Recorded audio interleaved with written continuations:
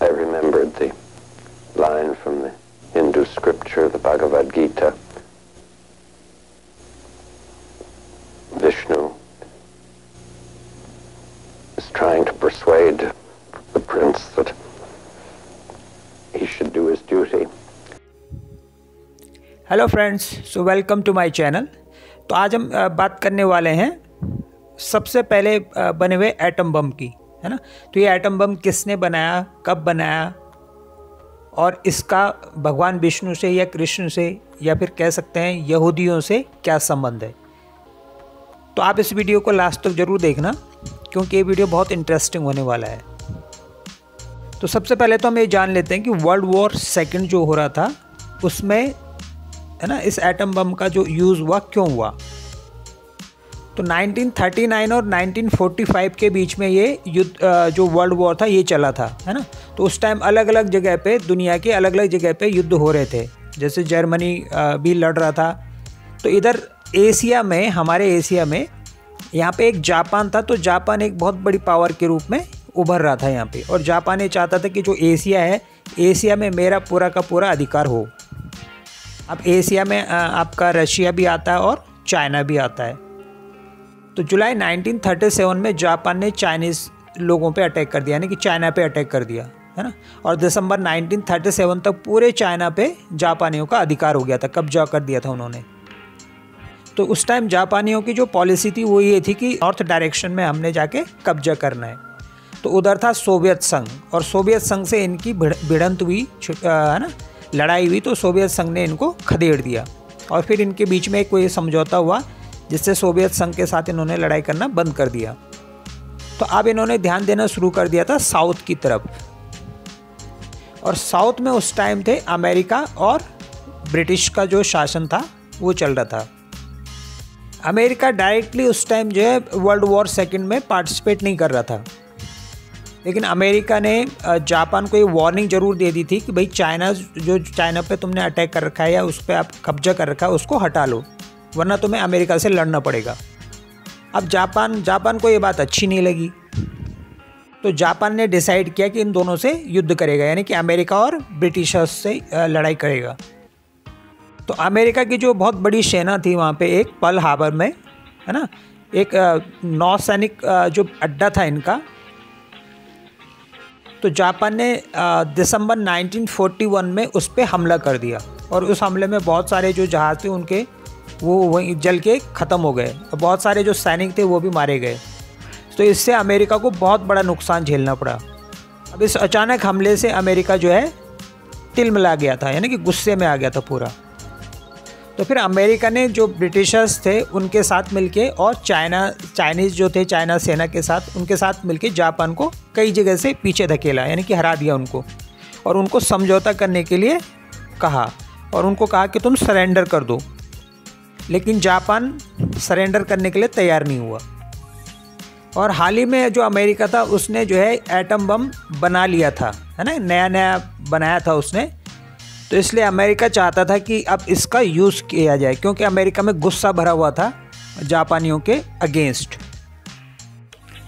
तो अमेरिका से जो है एक जहाज़ उड़ा, इनका बॉम्बर जो था, बॉम्बर उड़ा, और वो जापान के सिटी, यानी कि उनका शहर जो था हिरोशिमा, उसके ऊपर मंडराने लग गया।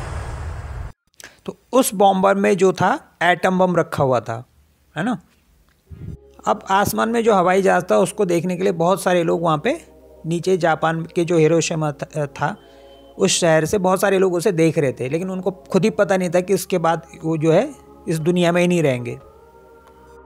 तो जैसे ही अमेरिका ने एटम बम हिरोशिमा के ऊपर गिराया, एक बहुत बड़ा आग का गोला बन गया। और इसकी चौड़ाई लगभग तीन किलोमीटर थी और ऊंचाई समझ सकते हैं आप, चौदह किलोमीटर तक थी। तो ये जो आग का जो गोला बन गया था, ये बहुत बड़ा था। और इससे एक बहुत बड़ा भयानक तूफ़ान उठा, जिसने सब कुछ तहस नहस कर दिया। इस बम के गिरने की वजह से अस्सी हज़ार लोग एक झटके में ख़त्म हो गए। और इस बम का नाम था लिटिल बॉय। ये बम इतना खतरनाक था कि ऐसे लग रहा था कि जैसे आसमान में एक साथ हज़ारों सूरज आ गए हों। और इसकी जो गर्मी थी, इसकी जो हीट थी, वो 10 लाख डिग्री सेल्सियस तक पहुँच गई थी। आप सोच सकते हैं, दस लाख डिग्री सेल्सियस एक बहुत बड़ी अमाउंट होती है ना? तो अगर हज़ारों सन, एक ही सन अगर आ जाता है तो हमें कितनी गर्मी फील होती है? अगर हज़ारों सन एक साथ आ जाएँ तो क्या कोई बच पाएगा? 10 लाख डिग्री सेल्सियस की जो गर्मी थी, उसकी जद में जो भी आया, वो सब कुछ तहस नहस हो गया। सब कुछ भाप बन के उड़ गया। कुछ भी नहीं रहा। ऐसा नहीं रहा होगा कि भाई बॉम्ब गिरा और उसके बाद जो लोग थे, वो बॉम्ब की वजह से जल मर गए या, है ना? ऐसा नहीं। जो जो उसके आसपास रहे होंगे, सब कुछ भाप बन गया वहाँ पे। जापान फिर भी नहीं माना, फिर भी रुका नहीं। तो इसके तीन दिन बाद फिर एक और एटम बम नागाशाकी पर गिराया गया और इस हमले में चालीस हज़ार लोग मारे गए। तब इसके बाद जापान ने सरेंडर किया और वर्ल्ड वॉर टू भी यहाँ पे फिनिश हो गया था, ख़त्म हो गया था। तो एटम बम के बारे में तो आपने जान लिया है ना?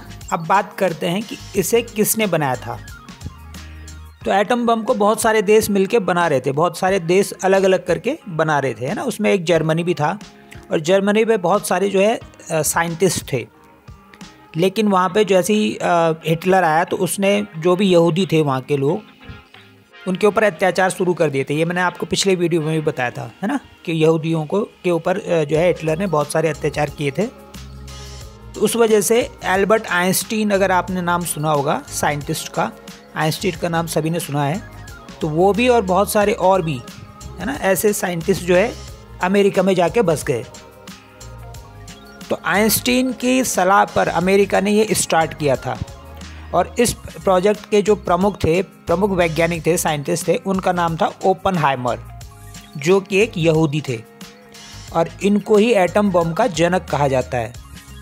ओपन हाइमर जो थे, वो, उनके फ्रेंड्स बहुत कम होते थे, है ना?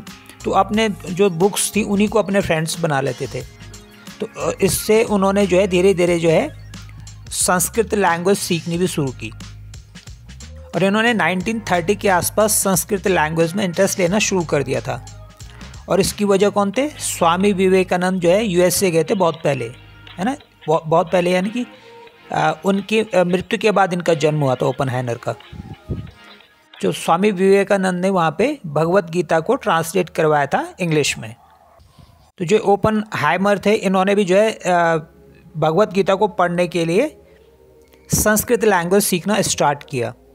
और बहुत जल्दी इन्होंने जो है, संस्कृत लैंग्वेज भी सीख ली। फिर इन्होंने भगवत गीता पढ़ी। तो इतने ज़्यादा मतलब ये यू नो इंस्पायर्ड थे भगवत गीता से कि एक बार इनके जो पापा थे, वो उनके लिए जो है क्रिस्लर खरीद कर लेके आए थे। तो उन्होंने इसका नाम जो है गरुड़ रख दिया था। गरुड़ कौन थे? भगवान विष्णु की सवारी थी। तो जापान पे एटम बम गिराने से पहले इन्होंने एटम बम का परीक्षण कर लिया था। सो तो जुलाई 1945 में न्यू मैक्सिको में पहला एटम बम जो है उसका विस्फोट कर लिया गया था और उससे दो दिन पहले इन्होंने गीता का श्लोक पढ़ा था। और उसके बाद इन्होंने विस्फोट करने के बाद, है ना, जो सक्सेसफुली विस्फोट हो गया था तो ओपर हायमर ने गीता के हवाले हवाला देते हुए ये कहा था कि अब मैं भी मृत्यु बन गया हूँ, है ना? दुनिया का विनाशक।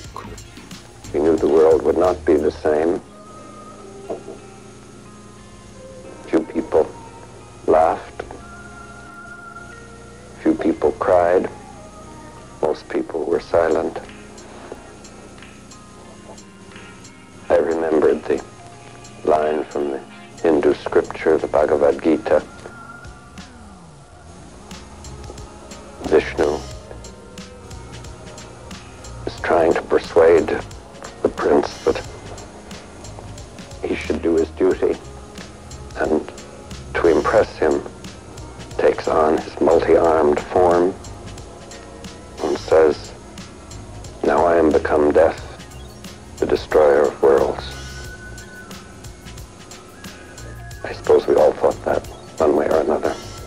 ये 1965 की बात है। एक इंटरव्यू देते हुए ओपन हाइमर बोलते हैं कि मुझे भगवत गीता की लाइंस याद आई थी। जब श्री कृष्ण अर्जुन को समझाने की कोशिश कर रहे थे और जब अर्जुन माना नहीं, है ना तो कृष्ण ने अपना विराट रूप दिखाया। विराट रूप दिखाते हुए उन्होंने ये बोला था कि अब मैं संसार का नाश करने वाली मृत्यु बन गया हूँ। यानी कि मैं इस पूरे संसार को नष्ट कर सकता हूँ। ये कृष्ण के शब्द थे। ये बोले थे ओपन ने। हम कह सकते हैं कि ये जो है प्रेरित हुए थे, इन्होंने प्रेरणा ली थी इंस्पायर्ड हुए थे महाभारत से, है ना? क्योंकि महाभारत में ब्रह्मास्त्र का वर्णन ऑलरेडी है। और गीता में इस बारे में लिखा गया है कि ब्रह्मास्त्र है, वो जो है धुएँ और आग का एक गोला है, जो दस हज़ार सूर्यों के समान चमकीला होता है है ना? और इससे सब कुछ तहस नहस हो जाता है। तो अगर आपने इतिहास में मोहनजोदाड़ो और हड़प्पा की जो सभ्यता है है ना, उसकी खोजों के बारे में पढ़ा होगा तो उन जगहों में से एक जगह है जोधपुर। तो उस, वहाँ पे जो है पचास गज के आसपास का जो क्षेत्र है, वहाँ पे ये पाया गया कि सभी चीज़ें आपस में जुड़ी हुई थी, है ना, और कांच में बदल गई थी सारी की सारी चीज़ें, यानी कि कांच बन गई थी, और कांच तभी बन सकता है जब बहुत हैवी प्रेशर पड़े और बहुत ज़्यादा हीट पड़े, है ना तो उस जगह पर जो भी कंकाल मिले थे उनमें रेडिएशन नॉर्मल रेडिएशन से पचास गुना ज़्यादा था। यानी कि वैसे था जैसे हिरोशिमा में था। और ऐसा तभी हो सकता है कि जब वहाँ पे कोई एटम बम फटा हो। लेकिन इतने साल पहले तो एटम बम फटने का कोई मतलब था नहीं, क्योंकि एटम बम तो बहुत नाइनटीन फोर्टी फाइव में बना था। तो इससे भी कुछ लोग ये रिलेट करते हैं कि हो सकता है कि वो इसी तरह का कोई एटम बम जिसको ब्रह्मास्त्र कहते हैं महाभारत में, वो रहा हो। जब ओपन हाइमर से किसी ने पूछा कि आपने पहला परमाणु विस्फोट कर लिया है सक्सेसफुली तो ओपन हाइमर का जवाब था हाँ मॉडर्न ज़माने में पहला परमाणु बम। तो उन्होंने ऐसा इसलिए बोला था क्योंकि उनको लगता था कि इससे पहले भी परमाणु बम का इस्तेमाल हो चुका है। और जिस प्रोजेक्ट पे वो काम कर रहे थे, उस प्रोजेक्ट का नाम ही ट्रिनिटी था और ट्रिनिटी का मतलब होता है त्रिदेव, है ना? त्रिदेव का मतलब होता है ब्रह्मा, विष्णु एंड महेश। तो इस एटम बम को बनाने के बाद ओपन हैमर थे, वो बहुत दुखी हुए थे, है ना? उन्होंने ये तक भी कहा था कि मेरे हाथ जो है खून से सने हुए हैं। तो अगर आपको ये वीडियो अच्छा लगा हो और ये जानकारी अच्छी लगी हो तो कृपया वीडियो को लाइक करें और चैनल को सब्सक्राइब करें। तो इस वीडियो में इतना ही, फिर मिलते हैं नेक्स्ट वीडियो में। So thanks for watching this video